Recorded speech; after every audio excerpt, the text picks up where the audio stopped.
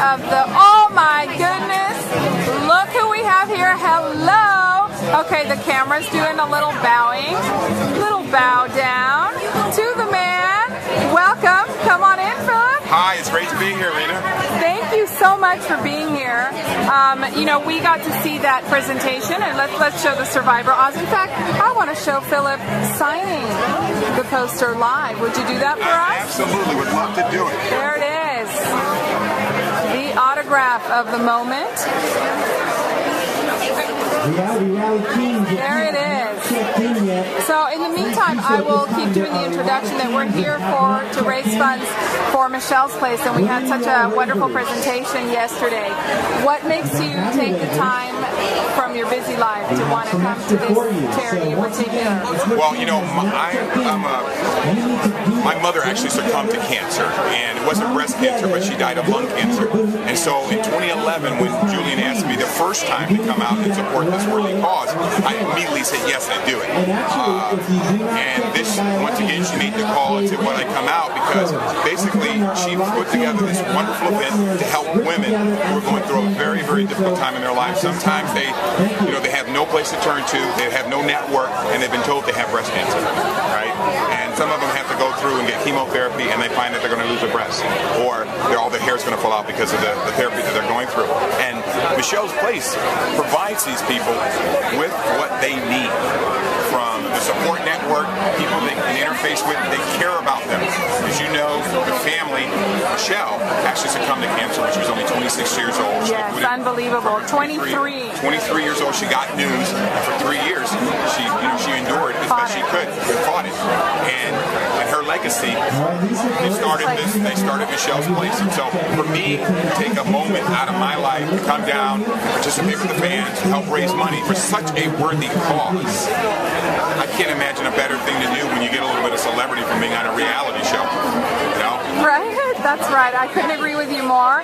And now, speaking of, back to the reality show and a little bit talking about the fight. So we're fighters here from Survivor. Bringing it back to, yes, Survivor Oz. Yes. Tell me your thoughts on what's happening right now in the season.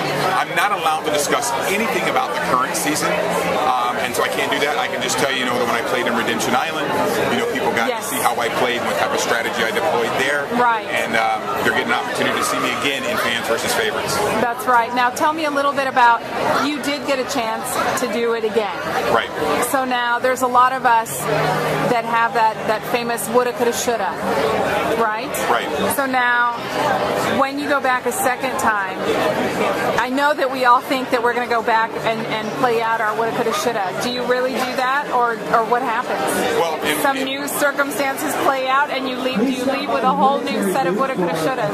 I don't know because in my case, I was not somebody who actually. Um, I was fortunate to be invited to come play Survivor the first time. Yes, I was out doing. too. I was doing what I do every day, which is I roller skate, and I was out having a great time when I was stopped by uh, Mrs. Spillman and said, you know, you ought to consider being on our show. I did some research on it and thought, you know, as a 50-year-old plus man, can I come out here and play this And game this and happen. potentially dominate it? Well, you and I, by the way, have a similar story because I too was recruited uh, doing what I do in the beauty pageant world at the time as a coach. Yeah. And and I was close to being a 40 year old woman and Yeah. thought, well, wow, can I make this happen? So we just found a little little bonding going on, Absolutely, little bonding going on live here on Survivor Oz. Yeah. Rita and Phillip bonding. That's right.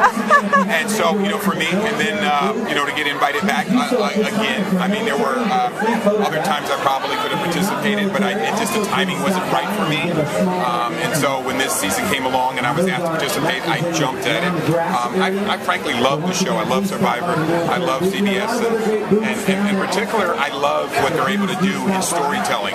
Um, I feel like there should be an, uh, you know, I think I read an article with Mark Burnett participated in Esquire magazine where he talked about, you know, he didn't necessarily agree with the moniker reality TV, you know, in, conjunction with his shows because he feels like what they do is they tell a story and they do a beautiful job of it. And I don't feel like the the uh, the editors, frankly, get the credit that they deserve. I mean, we see you know, in, in major television shows and film productions, they go back and look behind the people that are putting the production together, the people that are out there, the, the producers that are out there putting the show together. And I think they've done a fabulous job I whenever I watch you. any season of Survivor. So you get an opportunity to participate in that. It gives me some celebrity, makes me quote a reality star or personality Right. to come out and support To come and do like this. things like it's this. wonderful.